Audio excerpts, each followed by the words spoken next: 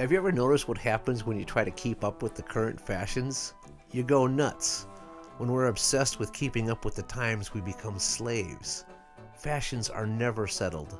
To chase something that's always changing is simply futile. It's not freedom, it's insanity.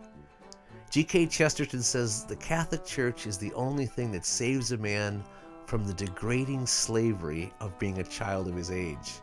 Christianity is always out of fashion because it's always sane, and fashions are always insane.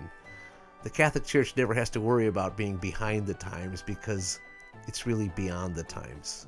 Spend more time with the Apostle of Common Sense. Visit chesterton.org for more information and go to EWTNRC.com to discover more books and programs written and inspired by G.K. Chesterton.